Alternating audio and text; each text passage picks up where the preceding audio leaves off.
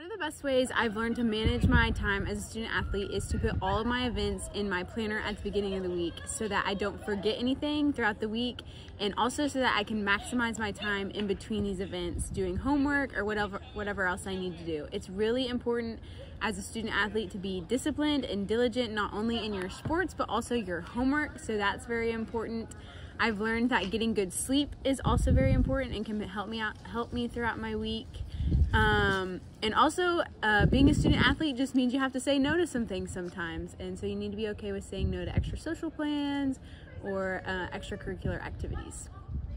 As a student athlete, I use my planner to write down events that I'm going to be doing throughout the week so I know when I have free time and when I don't. I also use my reminders app to tell me at specific times when I need to do stuff or like when I need to do homework or anything. I also schedule a nap into my day if I stayed up late the night before.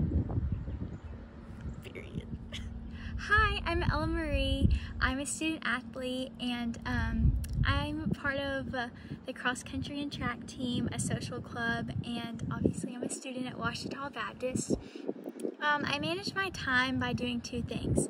I try to plan out my like schedule for the week ahead of time. I have like a planner that helps me do that, and each day as um, each day gets closer, I kind of like do like a mental note of how I'm gonna plan out each day and what I have to do for that.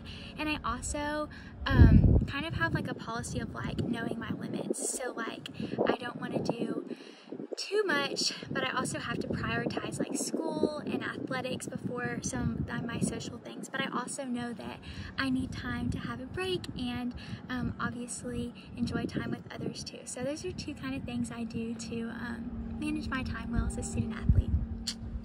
Um, I think the biggest thing for time management is getting enough sleep. I know it's hard with all the stuff that we do, especially as athletes, but I think getting enough sleep and then planning out your days.